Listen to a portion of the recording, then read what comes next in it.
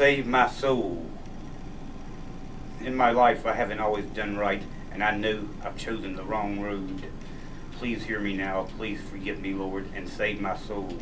I've made my share of mistakes, but now I'm willing to do what it takes to turn the wrong into right, because now I see things in a different light. And now I know, please save my soul.